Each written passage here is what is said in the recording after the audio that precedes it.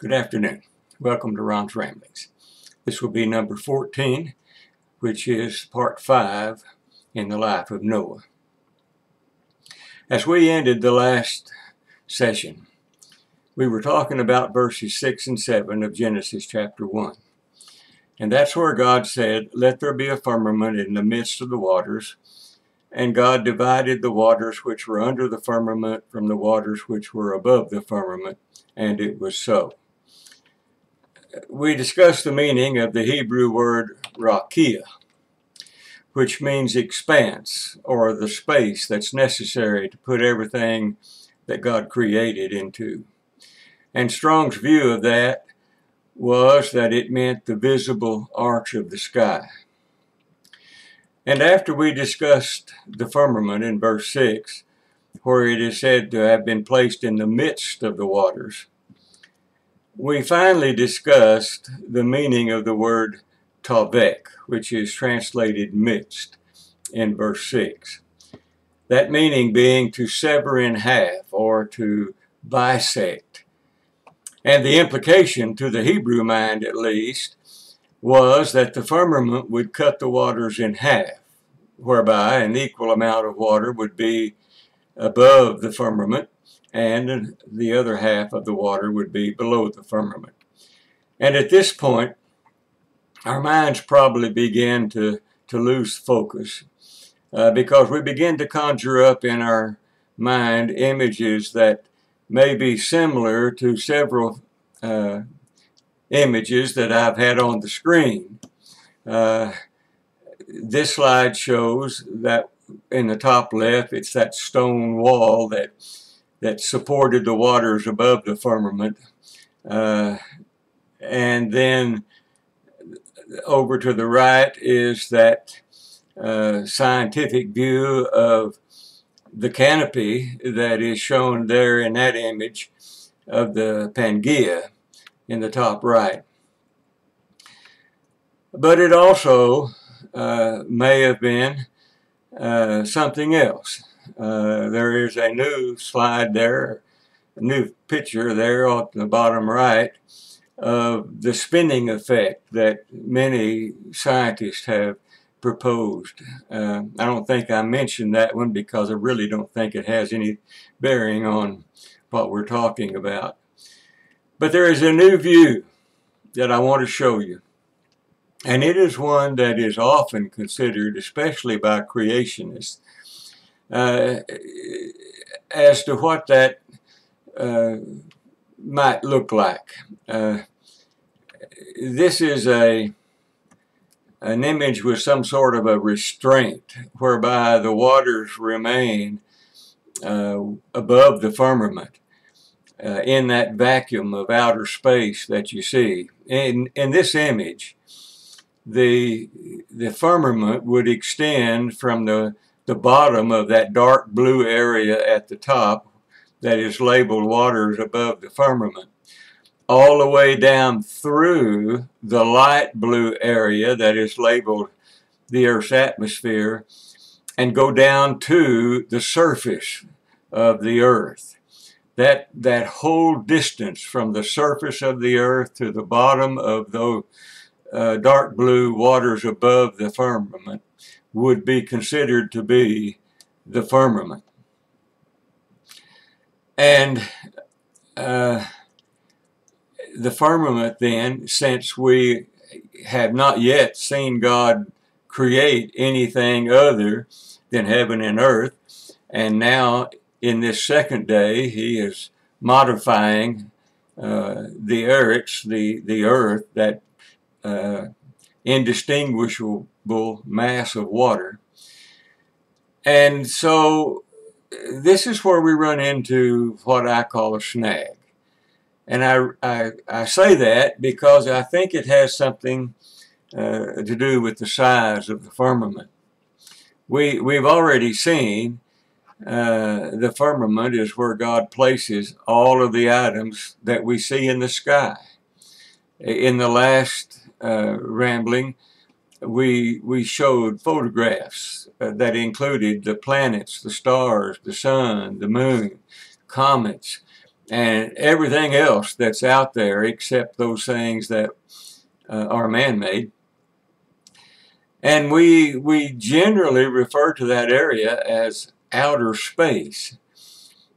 And if we're trying to consider that the waters above the firmament to be above or, or beyond outer space that, that the firmament uh, consists, uh, how far out there are we talking about? What is meant by the term above?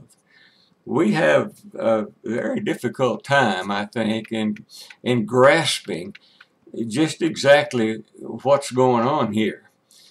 Uh, we have no idea how far away uh, that water may have been from the surface of the earth.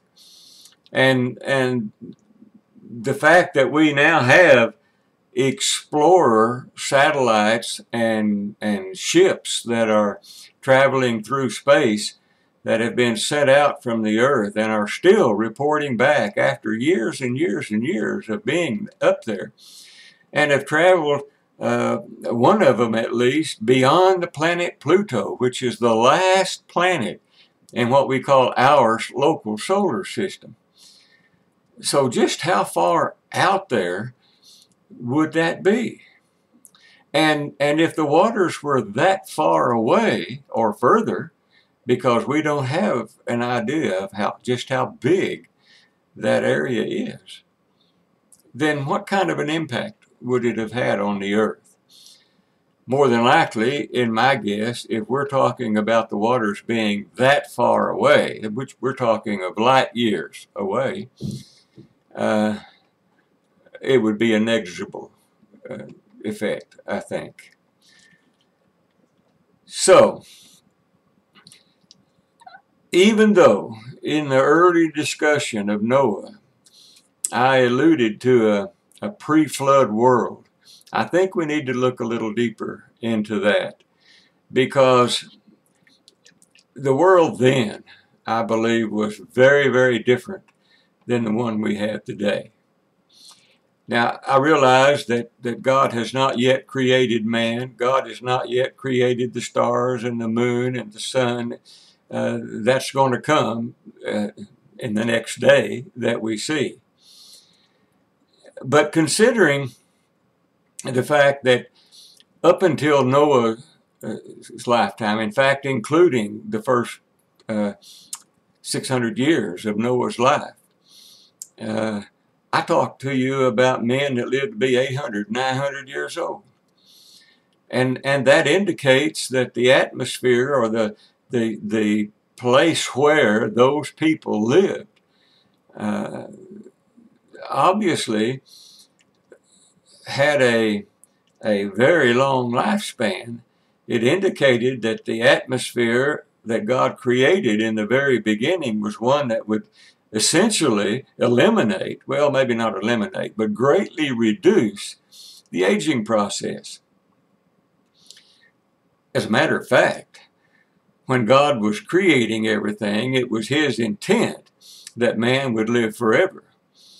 Remember, this is going on before man had been created, and therefore the sin has not yet entered into the world. So God still has in mind the idea that he would create man and man would live forever uh, in paradise.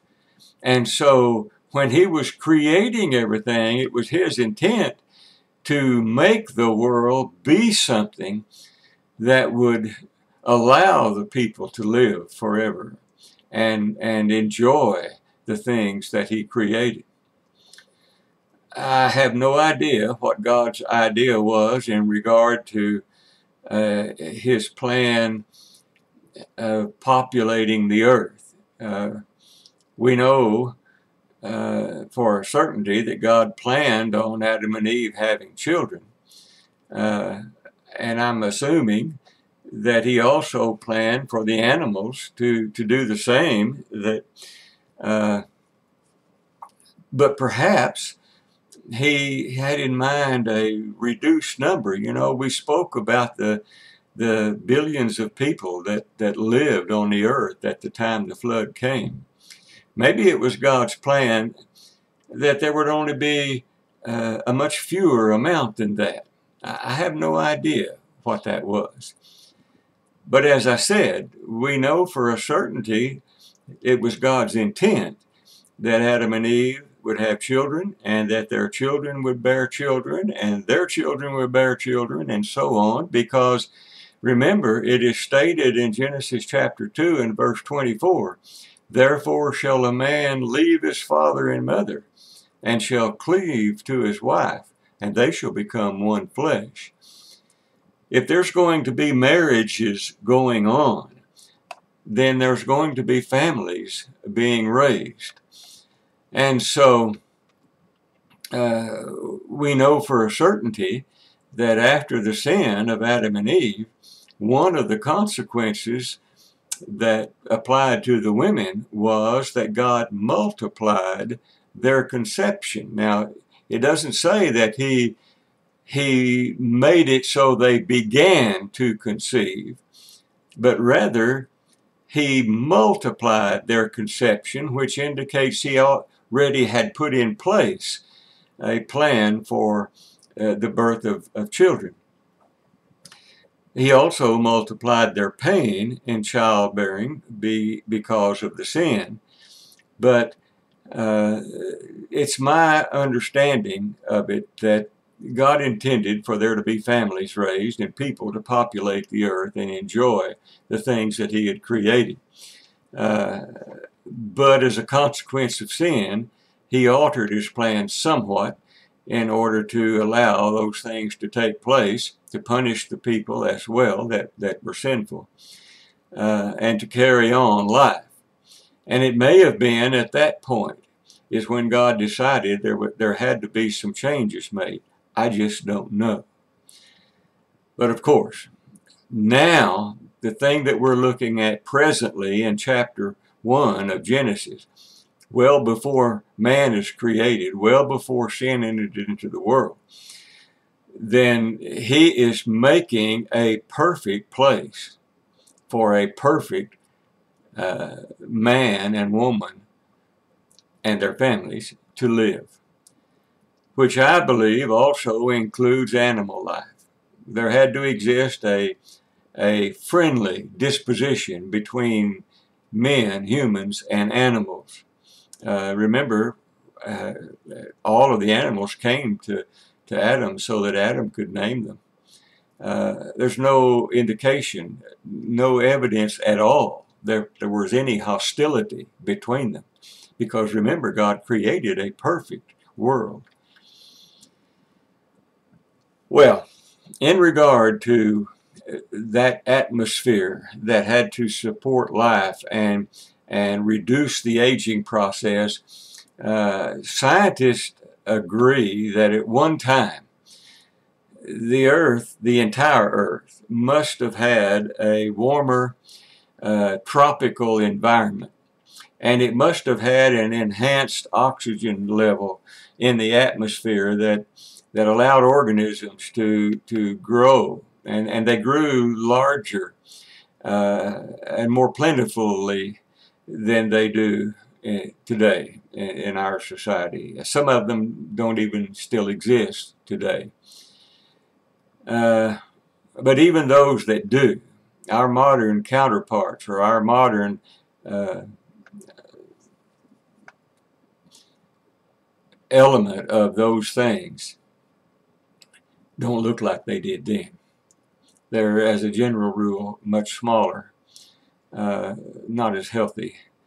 Uh, there's a there's a place in Colorado where there is a terrifically big fossil bed and scientists have dug into that fossil bed and they have attributed the unusual things that they found to what must have been something like the water canopy that uh, the creation scientists believe existed.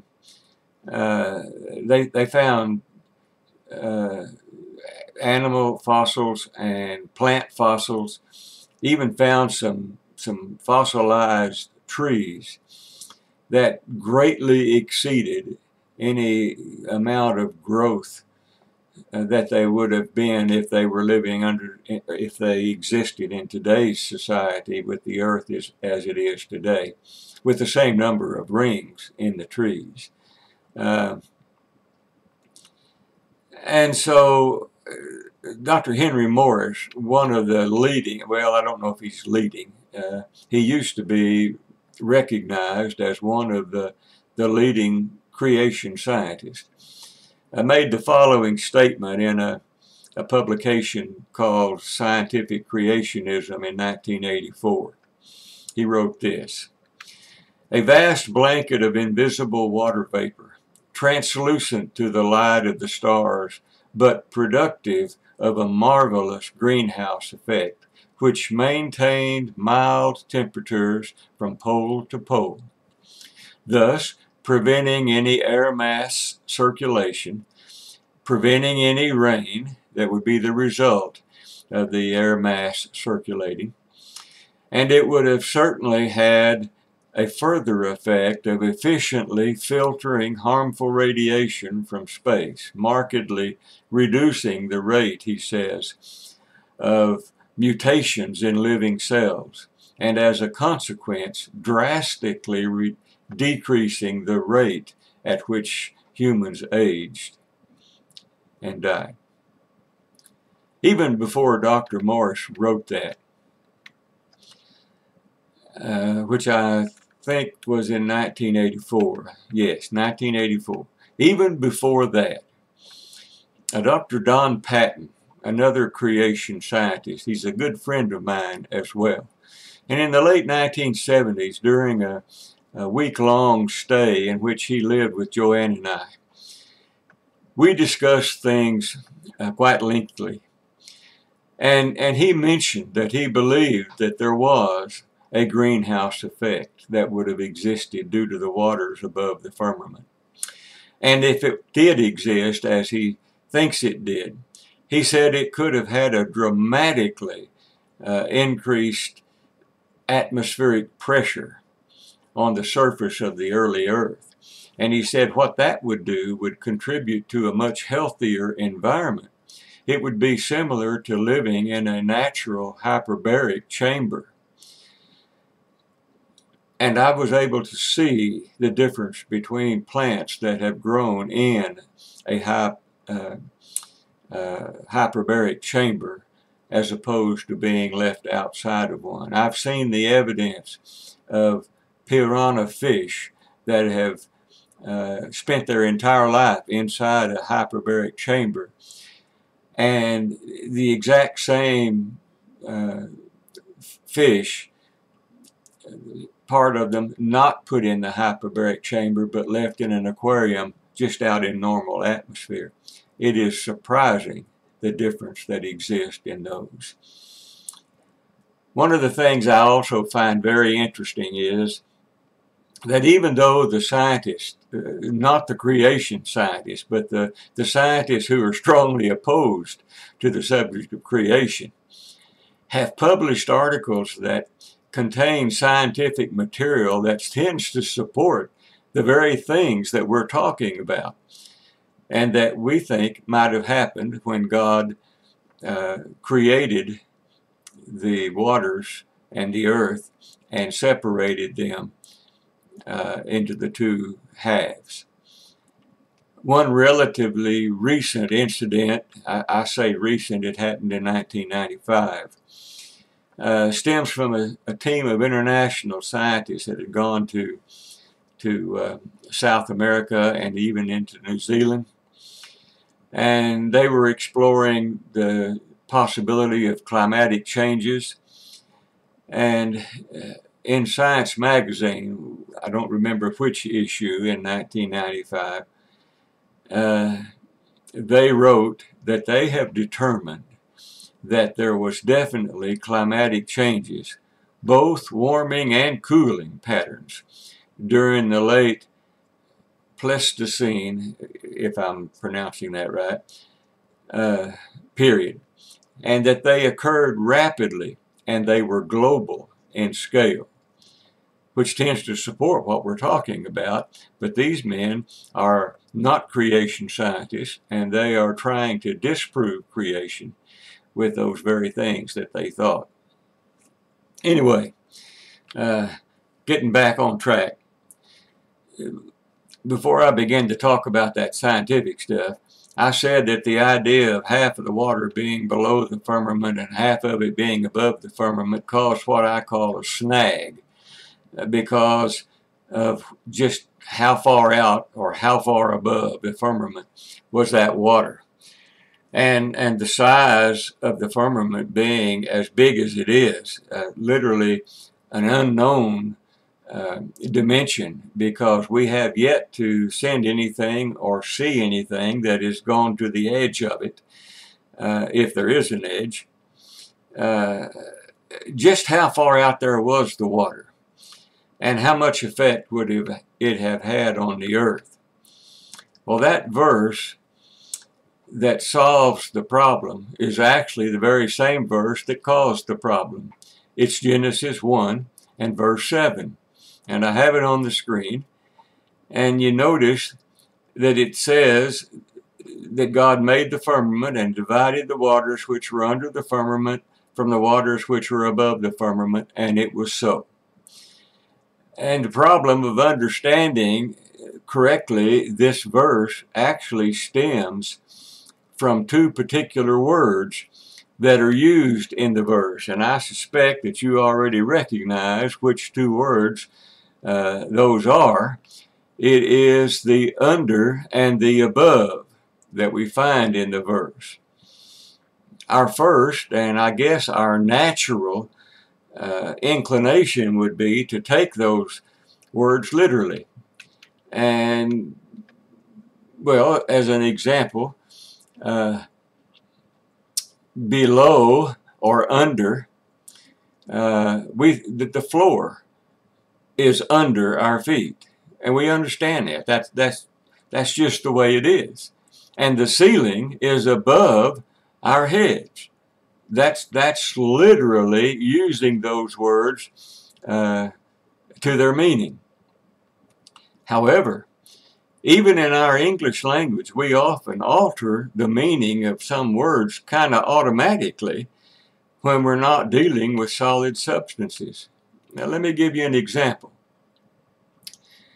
Uh, I'm sure most of you have been swimming at one point or another in your life. When you dive under the water, are you not really in the water as opposed to being under the water? If you have a swimming pool, how are you going to get under the water? Dig under the pool? You see? And so we, what we're really saying is that we are below the surface of the water. We're not really under the water. We're under the surface of the water. Well, the Hebrews did a similar thing because they used two or more words sometimes to combine into a phrase uh, to illustrate the meaning that they really intended to get across. We discussed one of those, uh, I think it was in the last rambling, uh, where God divided the world. I, I think it was uh, verse 6 of, of Genesis 1 that we were talking about. And we said that uh, the English translation of the word divide did not adequately express what the actual Hebrew thought was. Uh, because the Hebrew thought actually consisted of two Hebrew words. Remember, we talked about the Badal and the Bain, uh, which provided a distinction as well as a separation. Well, the same thing occurs here. When we're talking about above and under the water. The English word under is what the translators supplied for the Hebrew word uh, Takoth, I guess is the way to pronounce it. But the Hebrew thought consists not of just that one word, Takoth, but rather it's a two-word phrase. And it doesn't exactly mean under. Nor does the English word that is translated above accurately express the Hebrew thought of the word above uh, in the Hebrew language. Uh, that word is Ail, I guess. Uh, it's, it's just simply spelled A-L, but I don't think they called it Al. I, I think it was Ail. So the Hebrew word that's translated in verse 7 as under is the Hebrew word takath, and it actually means bottom or beneath, which is why the word is translated under, obviously.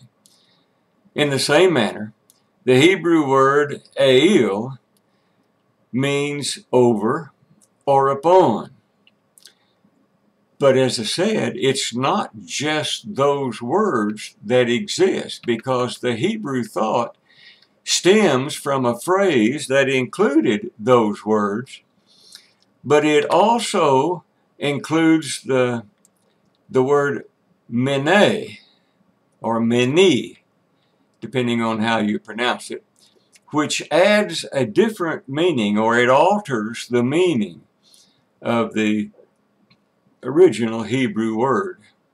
The, the Hebrew word mene or meni uh, means among or in or by reason of.